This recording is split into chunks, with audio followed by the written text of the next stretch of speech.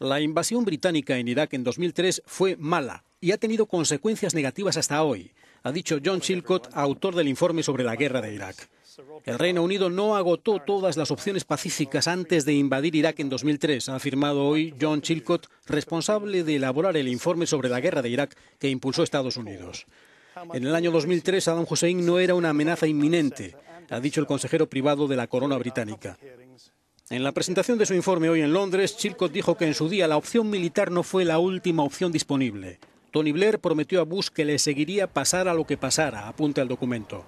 Además, critica que el gobierno de Tony Blair sabía que las informaciones sobre las supuestas armas de destrucción masiva que estarían en posesión del régimen de Saddam Hussein eran débiles e inconsistentes.